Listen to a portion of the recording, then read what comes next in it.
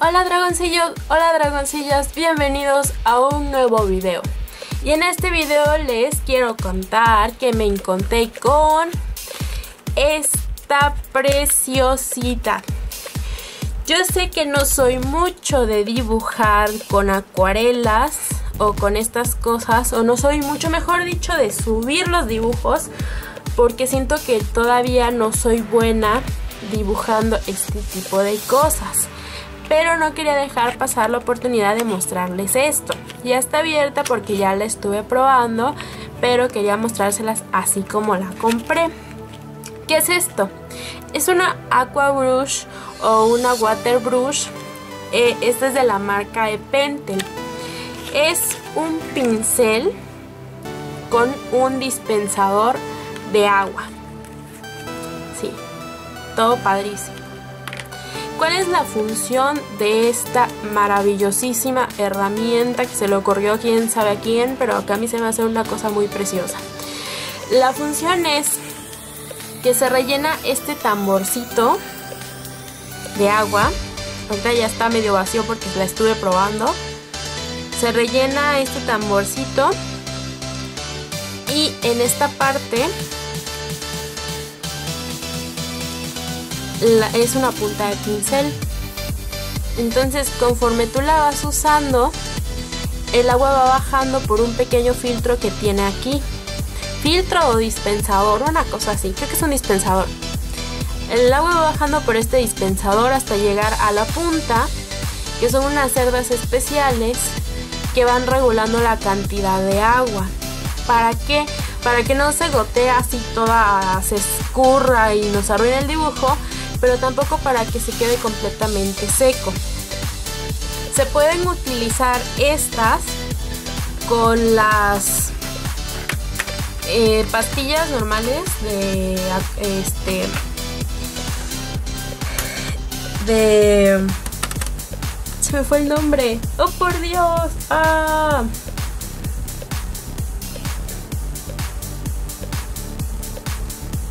las puntas, las pastillas normales de acuarelas o con los, colores acuareables.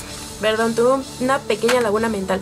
O con los colores acuareables. Entonces ahorita vamos a utilizarla aquí delante de la cámara y delante de todos ustedes para que vean ustedes y vea yo qué tal trabaja la, pues la, esta water brush o aqua brush.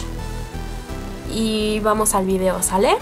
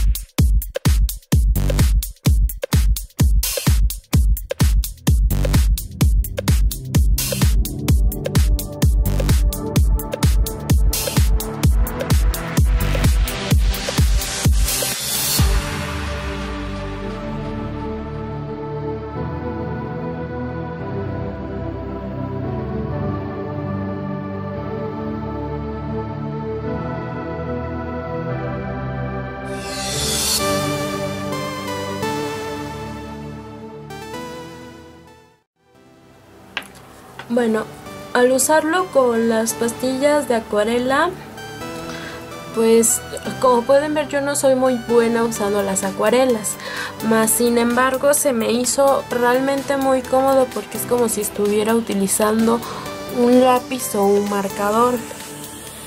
Em, se me hizo muy fácil el cargarlo con las acuarelas, el limpiarlo todo, es muy padre.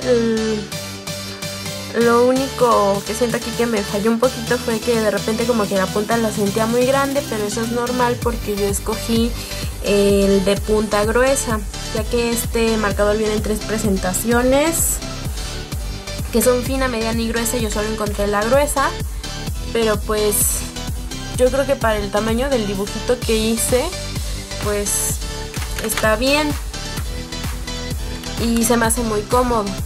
Ahora voy a intentar con los colores acuareables a ver qué tal se maneja, pero yo creo que va a estar igual muy cómodo. Entonces voy a intentar con los colores acuareables y regreso.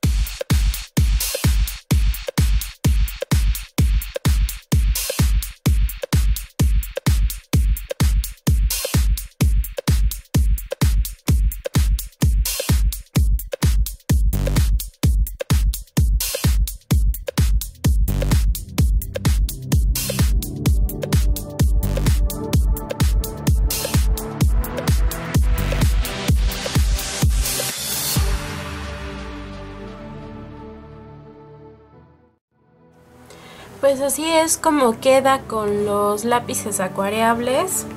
Igual se maneja muy bien. Es como si estuvieras utilizando un marcador, o sea, un lápiz. Se me hace muy cómodo. Y yo le veo un uso potencial para cuando sales de viaje, ¿no? En vez de estar cargando así como que todos los pinceles y y andar pidiendo agua y todo eso, pues así te metes a un baño, lo recargas y puedes andar pintando en casi cualquier lugar, ¿no? Entonces así quedaron los dos mini dibujos. Esta es la Aqua Brush o Water Brush. la pueden conseguir. Yo la conseguí en las papelerías de Hiperlumen. Supongo que se puede conseguir en las papelerías de arte. Y este fue el video. Hasta aquí llegó. Yo soy Hugh Stalin. Recuerden, si les gustó, manita arriba. Si no les gustó, manita abajo.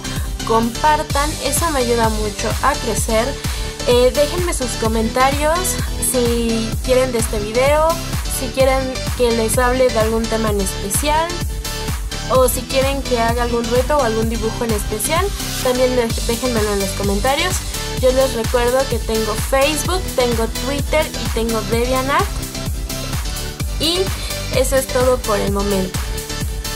Regalar algún animalito, no lo compren, adopten. Adopten y esterilicen para que ya no hayan más animalitos sufriendo en las calles. Recuerden siempre ser corteses, andar con cuidado, leer mucho, educarse y nos vemos en el próximo video. Bye.